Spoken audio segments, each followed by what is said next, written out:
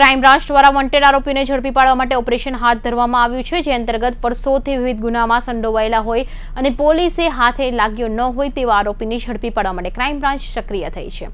Technical surveillance તથા human ઇન્ટેલિજન્સની મદદથી વર્કઆઉટ કરી ઉધના પોલીસ સ્ટેશન હદ વિસ્તારમાં વર્ષ બે હજાર આઠમાં નોંધાયેલા હત્યાના ગુનામાં નાસ્તા ફરતા આરોપી જુલ્લો સુરેન્દ્ર શાહને ઓડિશાના ઘનશ્યામ ડિસ્ટ્રિક્ટમાંથી ઝડપી પાડ્યો છે.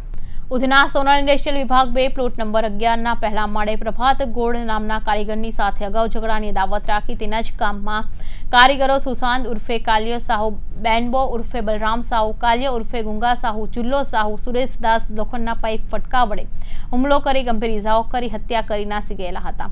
જે બાબતે તારીખ એક ઓક્ટોબર બે હજાર આઠના રોજ અજયના ઈસમો વિરુદ્ધ ગુનો નોંધાયેલો હતો. પોલીસે તપાસ કરતા ગુનામાં એક આરોપી સુશાંત ઉર્ફે કાલિયા ગોપીનાથ સાહુ પકડાયેલો હતો. આ સિવાય બીજા કોઈ આરોપી આજ દિન સુધી પકડાયેલા ન હોય.